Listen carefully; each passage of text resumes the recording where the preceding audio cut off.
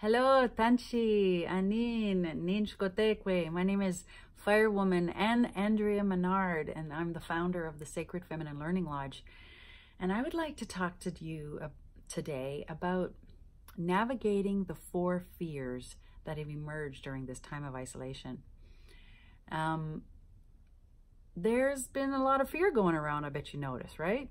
There's and it's hitting people in all sorts of ways. And I'm, I've sort of bro broken it down into four, four major fears that are touching people. And these are not small fears. These are, they're so big and so opposing at sometimes that they look like they're causing polarization um, amongst the people, amongst humanity. And it doesn't matter where you come from, in, in within a family, out of a family, with what nation you're from it is triggering four different fears in you. So the first one that I'd like to talk about that we're navigating is the fear of getting sick, a fear of your loved ones getting sick. So the actual um, losing of someone you love. So, and that could mean yourself, right? So there's a fear of getting sick. So there is how people are responding to that are the ones who are being very careful, who are are wearing masks or decontaminating when they go in or wiping or washing their hands or having wipes wherever they go. And they're they are responding in a in their way they're responding uh, res, responsibly to something that could devastate their loved ones or themselves or the public at large. So there's a great fear of that. And if I if we think back of the deep seated, because I'm always looking at the big picture of of what makes us tick, and the grandmothers are always whispering in my ear about that, which is imagine how many lineages have been wiped out because of illness. So this isn't something that um, is just imagined. We have in our lineages massive um, pandemics in our histories that are still being carried in our cells today. So that is one response of, you know, that is one fear that is being brought up in people. And, and the, they'll be the ones who are being super responsible because they do not want to lose people who themselves or people around them to get sick, their families. It's very important. The second fear that I'm discovering are those who are fear frightened of being controlled. So um, the, the fear of being sick is not the priority at all. Their fear that is deep seated is the fact that their freedoms will be taken away by an out by an authority that they uh, lose control. They lose their autonomy. And that's a deep seated one too.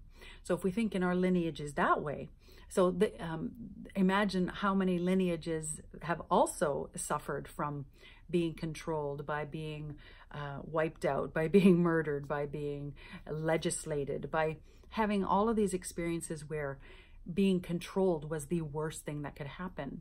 And, and that's also trapped in our lineages. So these people are going to be um, expressing their fear by um, rejecting the rules and the regulations and the and the expectations. Because illness is not number one on their radar. Being controlled is. So that's the second fear.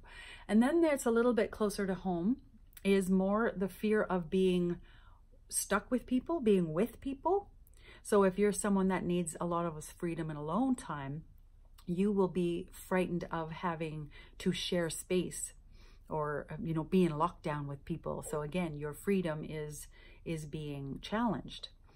Um, and those people might go be responding in that fear by being withdrawn by working or finding themselves trying to work whatever they can do in their work just hide away in their work or hide away in a project or do something that keeps them away from the people they're with. Um, and then there's also the ones who are frightened of being away from people, the ones who are in um, either lockdown by themselves or they are with a, a, family unit but can't connect to the extended family. So they are frightened of being away from people. And these people are worrying a lot about those who are outside of their safe realm. And and so their their fear is is connecting, zooming, um, reaching out and being a part of a family unit, just connecting all the time. So we're navigating these four different fears and you'll see that they probably, you know, some of them go together, some of them don't. the, the fear of getting sick and the fear of uh, being away from family, those ones might go together. And the fear of being controlled and the fear of being with people, those ones might go together too.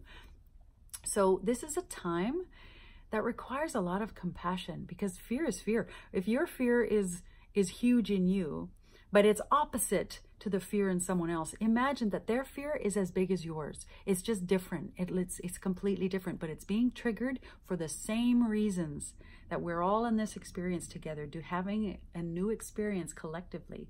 And as a friend of mine said, that we're in a collective trauma together. And trauma triggers our lineage trauma.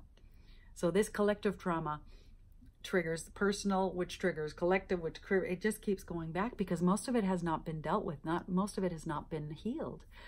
So my invitation to you, being, you know, someone who's here to help facilitate the rise of the sacred feminine is let's bring our compassion out.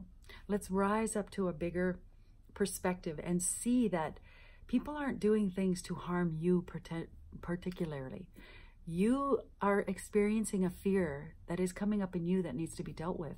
It is your gift. That is the gift of this time and in, in the isolation to hand this fear to you on a platter because there's not many experiences on a global scale that can trigger this kind of stuff. It's big, it's brutal, and it's perfect. So I invite you to pick it up, sit in circle with these fears because they're here and navigating them will be your responsibility because it's worth it. I mean, if anything that we can do for each other, we can do for the collective, and we can do for humanity is to handle and deal with our own stuff, heal our own lineages that go back and back and for, forward and forward. Heal those lineages, and we're going to start to see real change on our on our planet. So have compassion for yourselves, have compassion for others, but know that fear is fear is fear, and it feels the same inside of you as it does for someone else. It just may show up differently. So I I ask that you have a little patience, rise up that compassion, and do your part. Because we're all in this together, right? I love you. Till next time. Bye bye.